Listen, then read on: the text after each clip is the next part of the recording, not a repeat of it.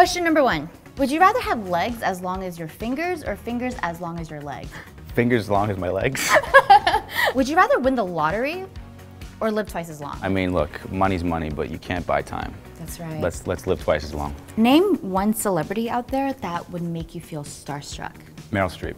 What is something that would surprise the fans? Uh, something about you that would be surprising to them? I have a deep, a deep passion for, for travel. That's one of the benefits of the job. You kind of get to see different places. But Vancouver is very special to me. I love Vancouver. West Coast Canada is absolutely beautiful. It's on the ocean. You have the backdrop of the mountains um, against the sea. It's, it's gorgeous. Uh, I would encourage anyone who loves to travel to visit Vancouver.